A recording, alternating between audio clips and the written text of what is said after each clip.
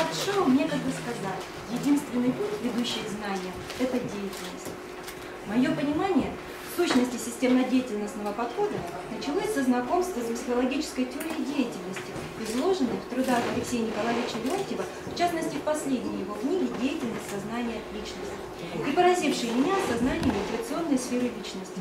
Оказывается, что предмет не может стать мотивом по заказу, даже при очень горячем желании.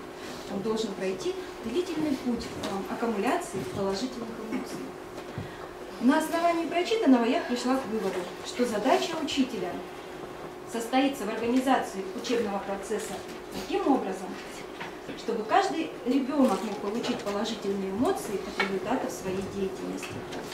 На каждом уроке я могу проследить по горящим глазам детей, получилось ли у меня сегодня заинтересовать, или же я зря прожила этот рабочий день. Это еще один повод для самоанализа, для построения и проверки новых гипотез. Так я пришла к теме формирования учебной деятельности э, через развитие мотивации младших школьников. Как же повысить учебную познавательную мотивацию каждого ребенка? Во-первых, через создание проблемной ситуации на уроке, которая вызывает у детей эмоциональную реакцию удивления или затруднения. Они испытывают огромное удовольствие, если разрешают проблему самостоятельно. Их самооценка повышается, исчезает страх перед преодолением трудностей, усиливается желание самостоятельного поиска разных подходов к выполнению проблемных заданий.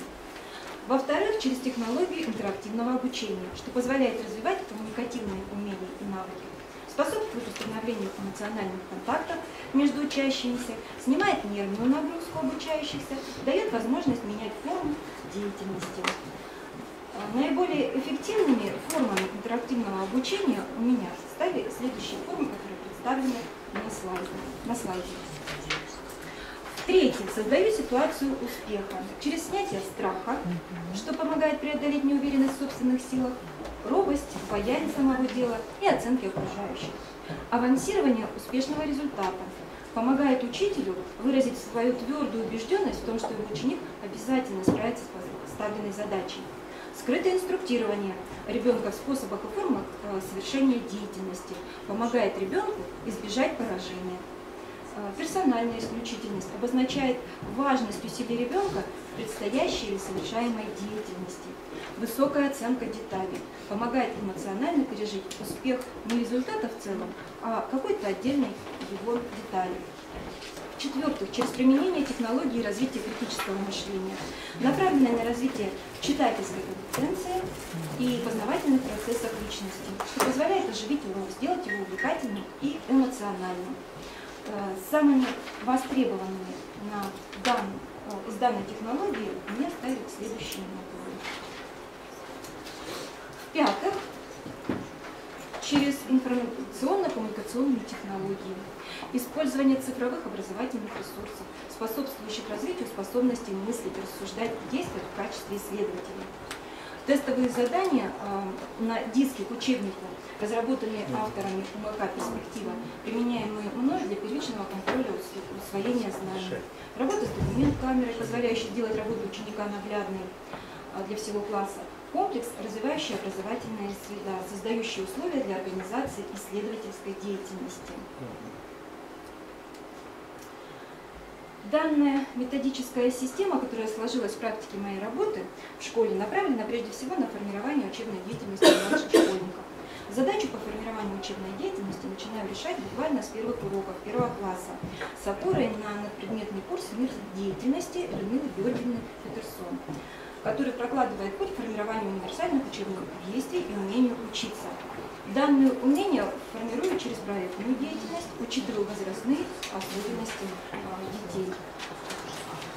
Включать детей а, в проектную деятельность начинаю постепенно, с первого класса. Вначале даю э, доступные творческие задания, а уже к третьему-четвертому классу учащиеся с большим интересом выполняют довольно сложные проекты. Некоторые проекты связаны с проведением экспериментов опытов, проводимых с помощью развивающей образовательной среды. Это способствует развитию младшего школьника опыта общения с природой, умения наблюдать, исследовать явления окружающего мира.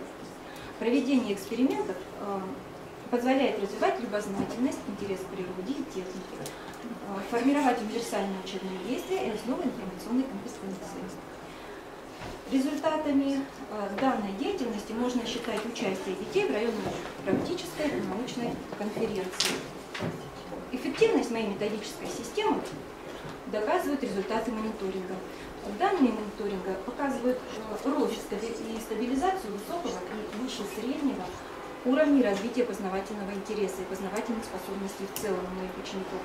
Просматривается положительная динамика развития э, познавательных процессов, рост уровня развития мышления, памяти, внимания. Кроме этого, данные психолого-педагогического анализа показали, что уровень мотивации высокий. Он хорошо выражен у 98% моих учеников. Так, по итогам первой четверти текущего года э, учащиеся моего класса имели 79%, а по итогам второй 82% качества обучения. А проведенная в декабре 2015 года Всероссийская контрольная работа по математике и русскому языку продемонстрировала э, прочные знания моих учеников 63 и 64 э, качества, процента качества усвоения материала. На протяжении Э, пяти лет веду кружковую работу. Мною разработаны такие программы, как занимательные опыты, лего-конструирование, я познаю мир и я исследователь. Наблюдая за общением детей на переменах, я заметила, что не все умеют вступить в контакт, попросить или принять помощь, то есть коммуникативные компетенции недостаточно развиты, и нужно было срочно менять ситуацию. Э, самым действенным, на мой взгляд, на тот момент э, был коммуникативный тренинг. Было решено с помощью теста для учащихся коммуникативная компетентность. В программе СПСС сравнительный анализ произвела до и после коммуникативного тренинга. После проведенных занятий у моих учащихся повысился уровень сформированности коммуникативной реакции за счет перехода детей на более высокие уровни развития коммуникативной компетентности. Ребята научились вступать в контакт, просить э, помощь, обращаться к сверстнику с просьбой. Таким образом, были обнаружены количественные и качественные изменения, э, которые разрабатывались в процессе проведения тренинговой работы.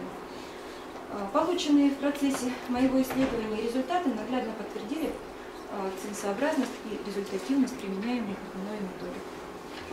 Также мной была разработана и апробируется программа духовно-нравственного развития и воспитания и социализации младших школьников, которая называется «Дорогой добра». А новизна опыта заключается в том, что я как э, психолог по своему второму образованию и как практикующий классный руководитель сочетаю в своей работе как педагогические, так и психологические методы воспитания и коррекции. Эффективность принятых мной методов духовно-нравственного развития можно проследить э, на графике. Анализ опыта а, моей деятельности позволяет выделить ряд задач, э, которые стали, стали для меня актуальными. Это эффективное использование современного оборудования, более глубокое изучение инновационных технологий, способствующих развитию детского творчества, и расширение круга собственного участия и моих учеников э, в предметных олимпиадах и различных конкурсах. Спасибо за внимание. Стараюсь ответить на ваши вопросы. Спасибо.